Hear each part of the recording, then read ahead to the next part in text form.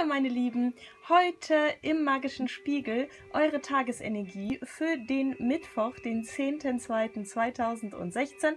Einfach ab dem Zeitpunkt, wo ihr das Video entdeckt und seht, gilt diese Karte oder diese Energie für eure 24 Stunden. Ähm, heute hätten wir die 10 der Stäbe. Ähm, die 10 der Stäbe könnte vielleicht ein bisschen bedrückend sein, ich weiß ja nicht. Ähm, ja, vielleicht habt ihr vielleicht ein bisschen viel Arbeit äh, oder einfach etwas, was euch irgendwie belastet. Das kann, muss aber nicht. Ähm, die Umwelt kann auch belastet sein oder so. Ja, ähm, das ist einfach eine allgemeine Energie und ich bin sehr gespannt, wie äh, auch mein Tag war. Und die Auflösung bekommt ihr dann auch dazu in den nächsten Tagen und natürlich auch mehr Infos zu der Tagesenergie im Allgemeinen.